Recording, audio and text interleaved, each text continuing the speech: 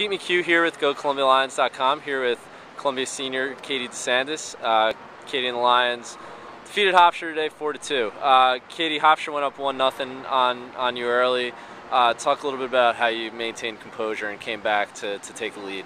Week we had a game plan. Our coaches make a game plan for us every week, so we had them pretty well scouted. We came out, came out with a little low energy, but we picked it up.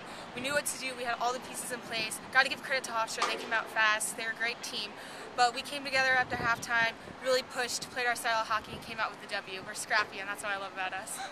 Um, and you scored twice today. Um, a couple set pieces that kind of bounce bounce your way. Talk a little bit about about the uh, the goals. Yeah, so set pieces are huge in hockey, and when you get them, you really need to capitalize. So it was great to do that today.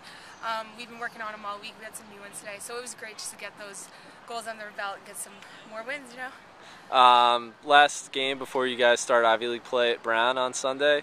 Um, talk a little bit about um, you know how the team's feeling heading into Brown. Obviously, we like to take one game at a time, so we focus on Hofstra. Now that Hofstra's done, we can start looking at Brown. So we're obviously really excited it is Ivy League, but we take every opponent as themselves, as their own, and we like to give them as much respect as possible. So we're excited, we're ready to go, and we can't wait for this weekend. Great, thanks, Katie. Thank you.